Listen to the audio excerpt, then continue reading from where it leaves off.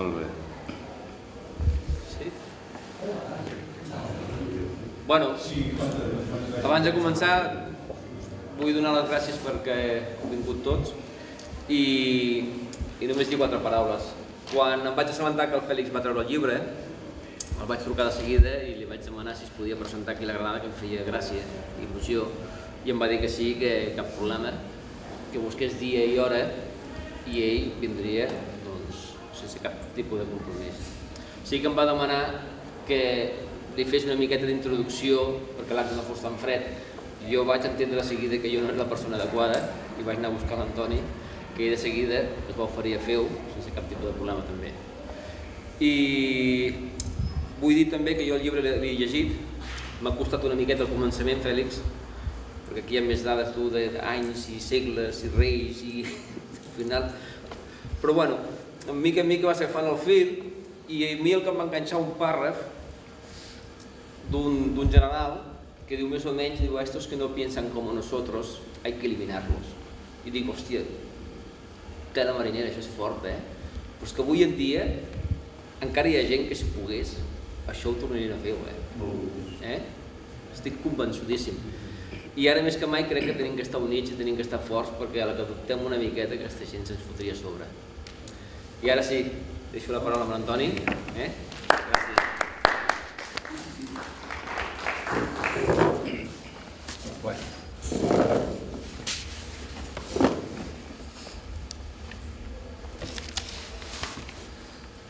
Estem aquí per la presentació del llibre d'en Fèlix Villagrassa, Els generals de 36, que subtitula La traïció a la república i l'Espanya immoral. Com a lector, penso que hi ha tres classes de llibres. Aquells que et cauen de les mans, que no saps què fer-ne, que no els acabes. Aquells que els, llegeixes estones, ah, mira, està bé, això és entretingut, i després hi ha aquells que quan els agafes ja no els pots deixar. Aquells que els has d'acabar perquè t'enganxen i necessites acabar-los perquè disfrutes llegir-los. Quan en Francesc em va demanar que m'encarregués de fer la introducció de la presentació d'aquest llibre, no tenia cap referència de l'autor ni de la seva obra. Me'n va lliurar un exemplar. Tan bon, vaig començar a llegir-me'l, me'n vaig adonar que aquest era un llibre que pertanyia al grup d'aquells que no els pots deixar. Que el comences, l'has de seguir llegint, i, però des de la mateixa pàgina primera, des de la dedicatòria, després explicaré per què, és un llibre que, que, que t'enganxa. De què va això? Ell, en Fèlix, us ho explicarà amb tot el detall a continuació. El tema va més enllà del seu títol concret. Jo, si tingués que fer una crítica al llibre, l'únic que criticaria és el títol, perquè no tracta només dels generals del 36. Evidentment que l'autor posa el focus principal a les actuacions de les màximes autoritats militars d'ambdós bàndols, tant dels que varen protagonitzar la sublevació com dels que guardaren la lleialtat a la república, però hi ha altres punts molt valuosos del llibre que descriuen marcs de referència històrica i social d'aquells anys. Per exemple, la primera part, que és una panoràmica històrica d'Espanya i de Catalunya, arrenclant des del segle XIX, que ens permet copsar antecedents, molts antecedents que van portar als tràgics fets del 36. També és interessant la tesis de que la república probablement hauria superat els grans problemes interns que la sacsejaven de no ser pel cop d'estat d'una facció de militars. Parlant de generals, segurament coneixeu aquella anècdota del periodista que li va fer la pregunta següent a un general xinès de l'època de Mao. Vostè quines creu que són les conseqüències actuals de la Revolució Francesa del 1789 sobre l'evolució del seu país avui? El general xinès, després d'una pausa, va respondre Miri, em sembla que és massa aviat per saber-ho, sap? Ben segur que si el nostre convidat hagués estat conforme amb aquest tipus de resposta, avui no estaríem aquí per escoltar-lo, senzillament perquè aquest llibre no existiria. En Fèlix, doctor en Història per la Universitat de Barcelona, ha pogut descriure en el seu llibre els fets que van succeir, expressar els seus punts de vista com a republicà de socarrer i, sobretot, explicar les causes de la guerra i les seves conseqüències moltes de les quals afecten encara la nostra política i la nostra societat, tan sols 78 anys després que succeïssin. El seu estil permet una lectura còmoda i comprensible. La documentació és precisa i fiable tot i les dificultats descrites per aconseguir-ne. Les seves opinions i judicis de valors són sempre objectius amb dintre de la seva subjectivitat, basats sobretot en l'enfatització de la legalitat jurídica i política de la Segona República, legalitat que els militars no van respectar. Ara que el govern d'Espanya esgrimeix la Constitució com a peça jurídica intocable, val la pena preguntar-se és que la Constitució de la Segona República tenia menys valor que l'actual i per això la van dinamitar a cops de metralla? En conjunt podem parlar d'un estudi condensat dels fets del 36, dels seus antecedents i sobretot dels generals biografiats. Tot això i més expressat amb professionalitat i sobretot amb caliu humà. Una mostra d'aquest caliu n'és la dedicatòria que encapçala el llibre i a la que em referia abans. L'autor el dedica a la vida, a la seva família i sobretot als seus avis que diu textualment van patir la barbària desfermada de l'estiu del 1936. Aquesta dedicatòria emociona perquè ens fa veure que la història és quelcom més que una senzilla numeració de fets, dates i personatges. Són història també les persones que van coincidir amb aquell sagnant Atzukak. Sé del que parlo perquè jo sóc del 34 i poc o molt me'n recordo. Són història els seus fills i els nets. I seran història els que continuaran la nostra labor. Gràcies per haver escrit aquest llibre i per acompanyar-nos. Ara us deixo amb el Fèlix amb una cosa.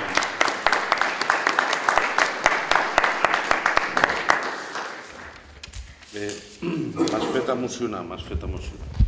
Antoni, moltes gràcies.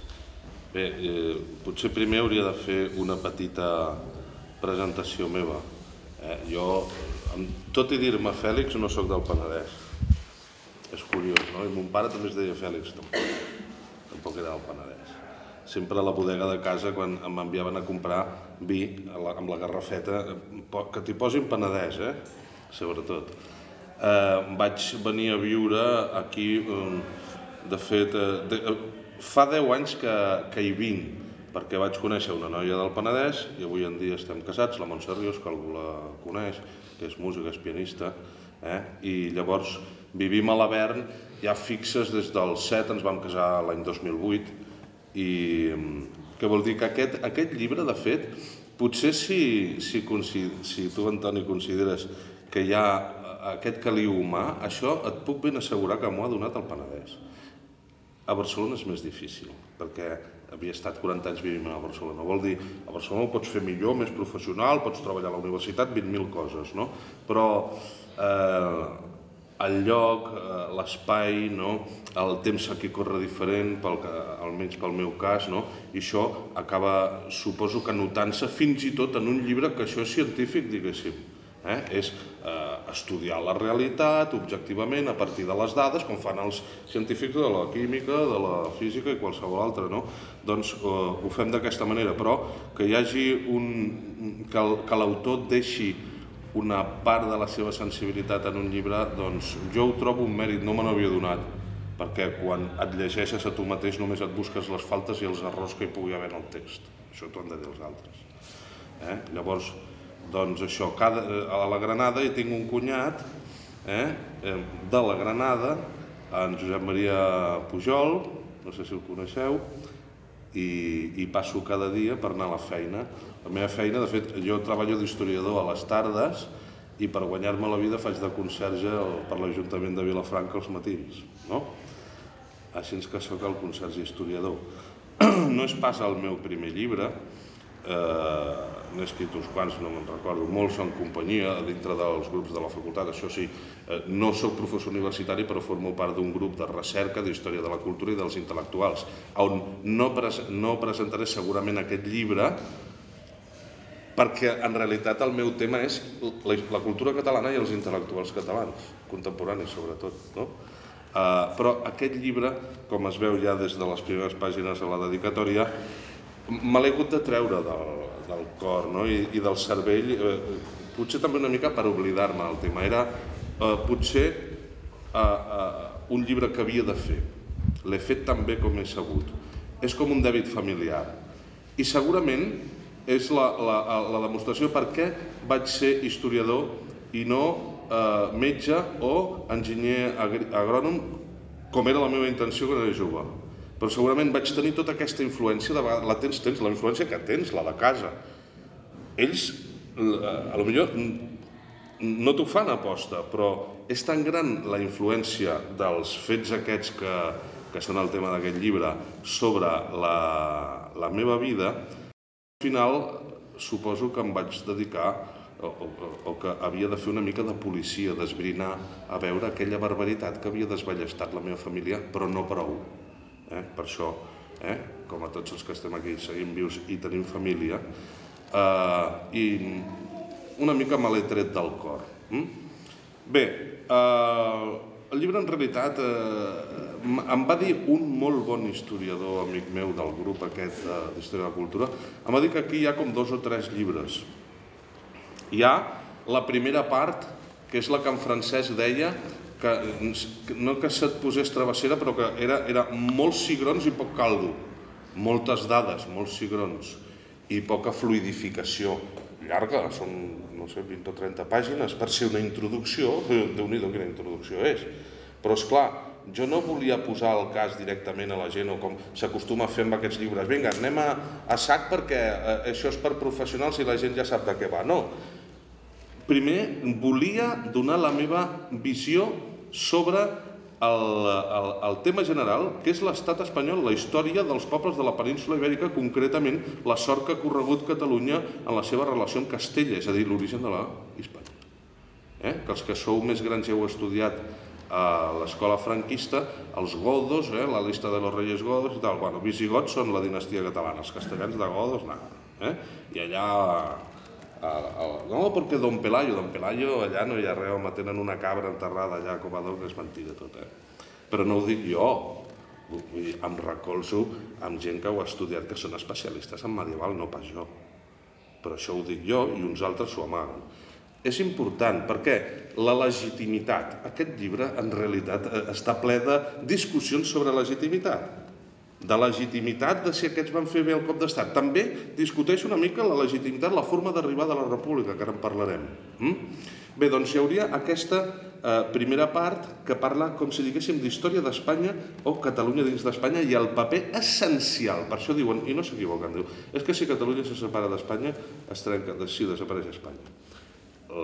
L'Espanya, tal com s'ha concebut, sí, perquè el motor de l'aparició d'Espanya és Catalunya eh, amb els reis catòlics i tot això, el, el, el, el,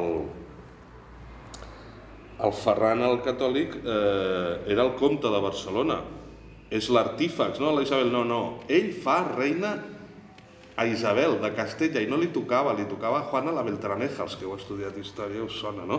Doncs ja totes aquestes coses una miqueta actualitzades, posades a lloc, i jugant a favor nostre. Home, clar, jo ja ho reconec aquí, dic, aquest, aquest llibre, home, miro de no dir mentides, miro de ser uh, objectiu, però, però com molt bé has dit tu, objectiu dintre de la subjectivitat, perquè nosaltres no som, som subjectes i cadascú veu el món i la realitat d'una manera.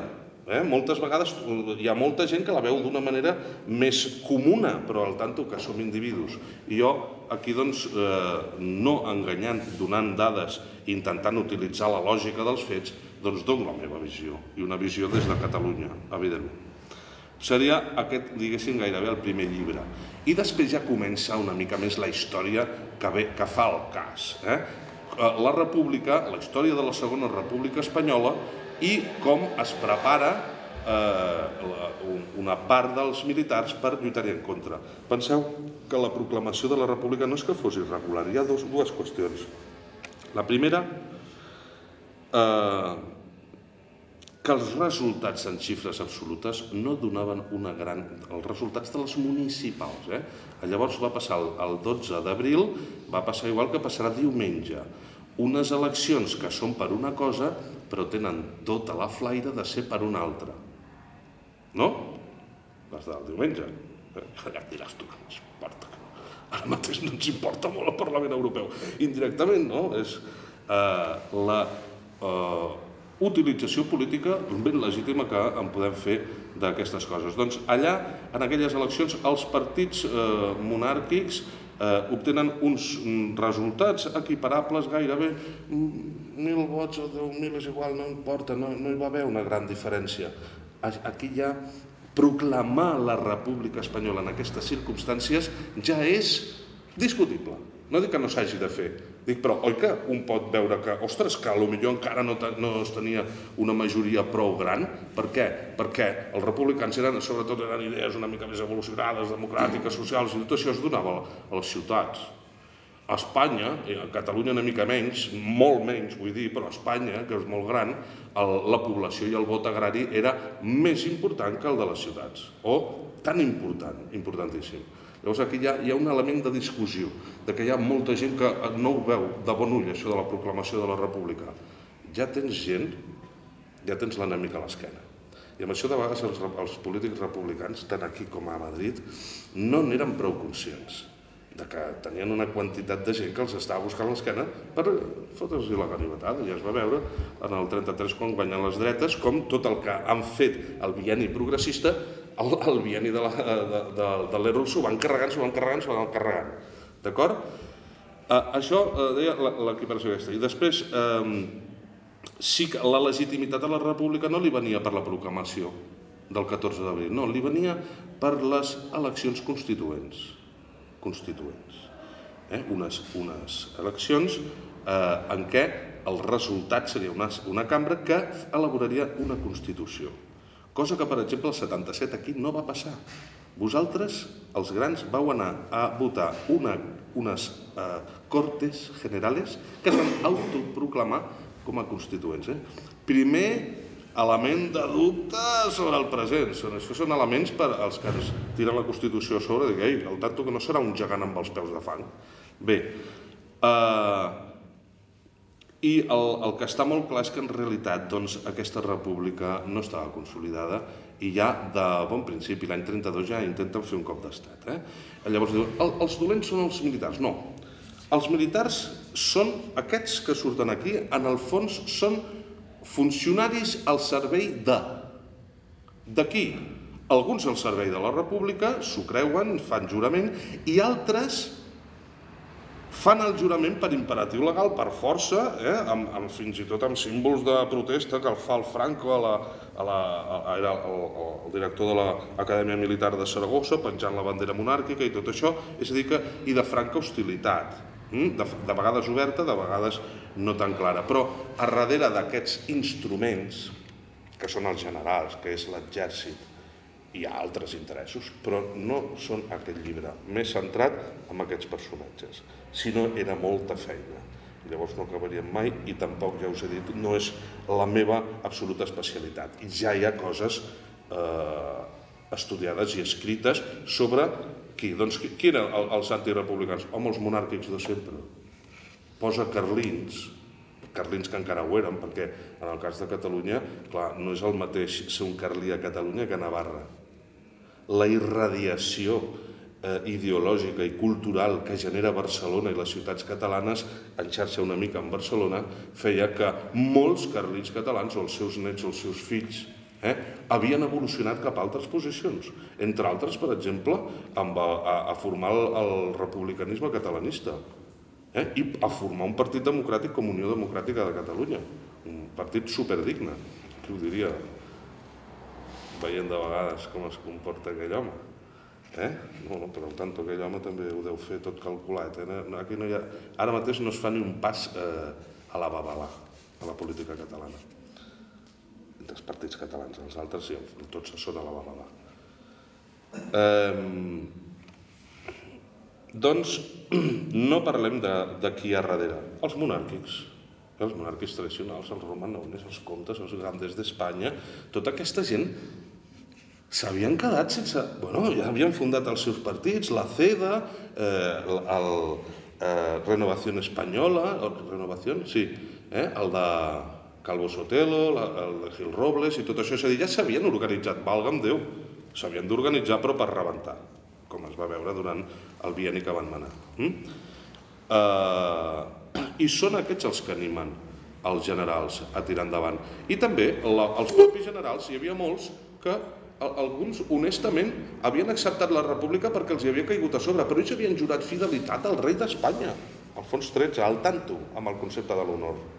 I que belluga molt més les pessetes. Bueno, ara no. Llavors eren les pessetes, eh? Molt. El diner, tal, l'enriquiment, la corrupció, els favors, sí, super. Però també hi ha el concepte d'honor, que eh, si va acompanyat de pessetes és fortíssim. Eh?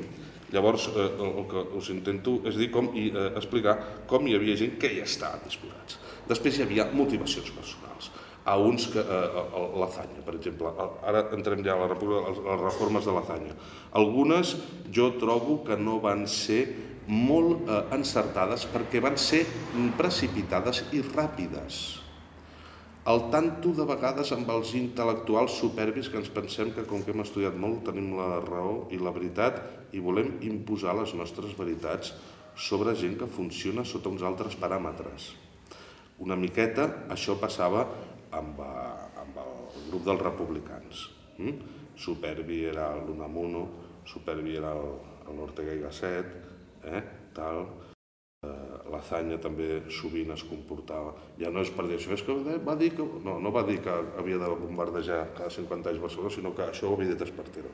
Ell el que va fer va ser una cita per fer-se el graciós. Mm? No se li ha de tenir mania només per anticatalanista, no anticatalà, eh? anticatalanista sí que era anticatalà, no? perquè com pot ser anticatalà si estan mantenint els catalans doncs, una bona part dels pressupostos generals de l'Estat no? i pagant els salaris.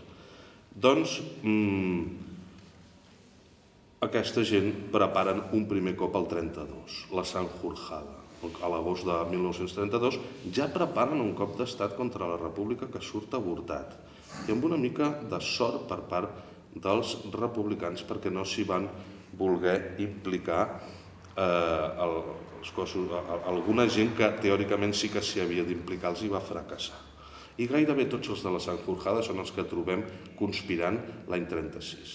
Mm? Durant els dos primers anys, doncs, els dos, després, el 33 i el 34, diguéssim que estan una mica més tranquils perquè manen els seus, els seus amics civils eh? els grandes d'Espanya, la gent potent, aquesta oligarquia castellana, que són realment eh, els culpables de que avui en dia Espanya estigui així, perquè si aquella gent llavors o després haguessin acceptat que Espanya es constituís com una república federal, no com el cafè per a todos de les autonomies que ningú demanava, sinó amb els bascos, els catalans i els gallecs si volien, eh? ja haguéssim estat al cap del carrer, però no aquella gent es pensen que venen de los visigodos i que tenen dret sobre tothom. S'ho pensen, realment. Igual que tu et penses que no, ells es pensen que sí. I és una qüestió de sentiment, eh, també, molt difícil de, de desarrelar.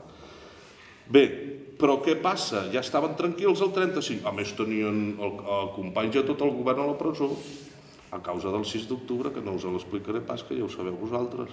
Això també llavors és molt opinable, si van fer bé o si van fer malament. Jo em senyeixo els resultats. Van a bé? No, i que no? Doncs llavors no va fer. No, no, no és que o no van fer bé o no ho van fer bé. Batet, Batet es va, pobret, Batet es va dedicar a, a complir amb la seva feina, amb, pel que havia, eh, perquè, per la qual eh, havia estat triat, com a capità general de Barcelona i sabeu que va eh, acabar molt tristament executat a Burgos pel Franco, també la, eh, pel, pel Mola, no, no, no, pel Franco, el Mola ja l'havia palmat. Doncs eh, per la mateixa raó, per intentar convèncer a Mola de que no fes el cop d'estat. Eh? És una història eh, trista, peluda, per exemple, que la gent, si ens considerem, per exemple, d'Esquerra Republicana recalcitrants, home, doncs el Batet no va fer cap bé. No va fer cap bé, però, és que, però ho feia bé. Potser els que no ho van fer bé van ser els altres, fer-ho llavors i en aquelles circumstàncies, simplement. No vull entrar en discussions amb això, perquè si em diu no, no, no, traïdor, val, també signo, és igual, em sembla bé, eh, però no ho crec. L'ha estudiat molt bé la història l'Hilari Reguer, un gran llibre del, de l'Hilari Reguer, eh, la història d'aquest militar tarragoní, catòlic, eh, un home honrat, d'honor, que va complir amb la seva obligació i que ell, igual que uns altres, com el general de la Guàrdia que manava la Guàrdia Civil a Catalunya, José Aranguren, i com els seus coronels, Escobar i Brutons, eh, també catòlics d'aquella gent, eh, d'aquella gent que dius d'una peça, com, allò com els d'abans, no? però també una mica liberals, no? perquè entenien que la gent doncs, no, som, no som màquines, no? doncs van acabar igualment eh, tots ells afusellats. I no eren dels nostres, diguéssim, no, eren dels seus.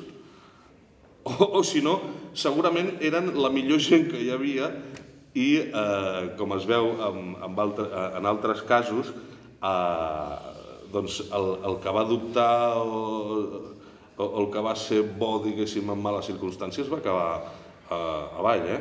hi va haver més, més d'un 30% de generals que els van matar. De, no arribaven a 150 i van matar 50, eh?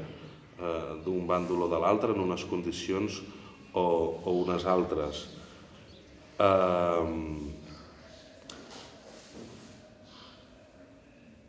bé, el desllorigador de tot, el desencadenant de tot, és eh, les eleccions de febrer del 36. Es celebren eh, eleccions a causa d'una cosa que avui en dia que, que hauríeu de riure, eh? no, no m'he passat amb les ironies, em sembla, amb el llibre, eh? però per un, per un cas de corrupció cau un govern i se celebren eleccions a l'any 36, pel, caus, pel cas Strauss-Perlé, que després es va fer molt famós, molt popular, l'estraperlo, que és corrupció eh? cobrar uns diners per l'assignació com allò el cas casinos i tot això per uns jocs d'atzar i tal i qual, doncs eh, va caure tot el, el, el govern de, eh, del Partit Radical de l'Errux, republicà radical, però que de republicà no en tenia gaire i de radical encara menys, eh, que hi havia elements de la seda i això era el que les esquerres no suportaven perquè la seda tenia, ja, igual que eh, Renovació Espanyola, tenia un ideari ja molt modern, molt del que hi havia a Europa. I quines ideologies modernes hi havia a Europa? El feixisme i el nazisme.